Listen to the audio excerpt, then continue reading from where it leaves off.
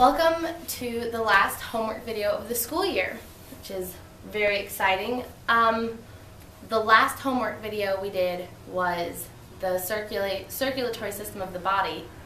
And this one's the circulatory system of plants, and it's how vascular, vascular plants transport water and nutrients to all the different parts of the plant.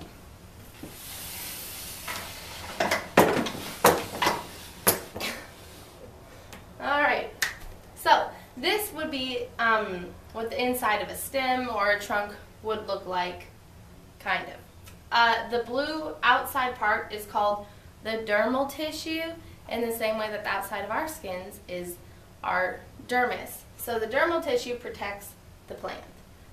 Um, the vascular tissue are the this holes that are not filled in, and they transport either water and minerals or sugar to different parts of the plant. So these are the, the transportation tubes. And then the pink ones are the ground tissue, and they're solid, and they provide the support to actually keep the plant um, standing. So if they weren't there, it would be it wouldn't have any support. You can think of them almost like the bones in our body that keep us supported.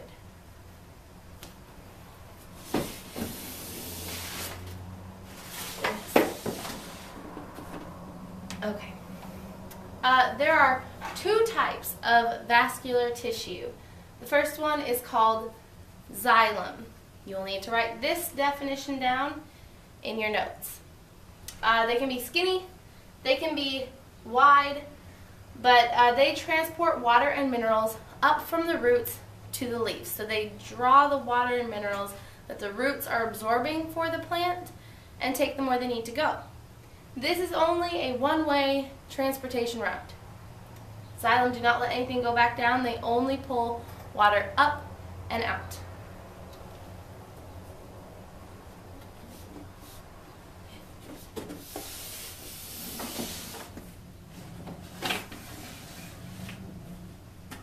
Alright. Second type of vascular tissue is the phloem. And it transports food and nutrients made in the leaves to the rest of the plant.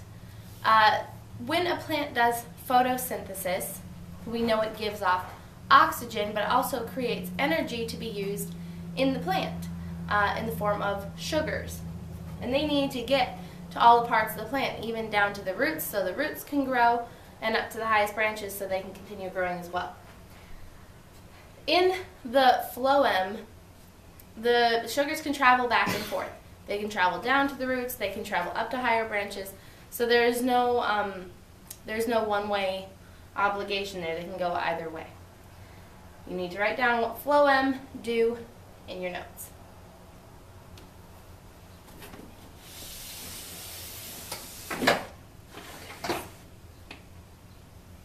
Okay.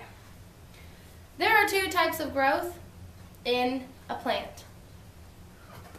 Primary growth is literally just when the plant grows taller and when the roots get deeper. That's all.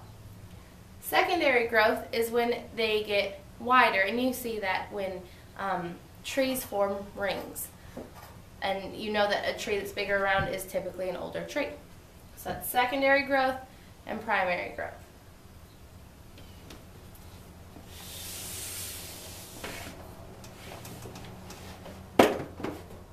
Okay, oh no.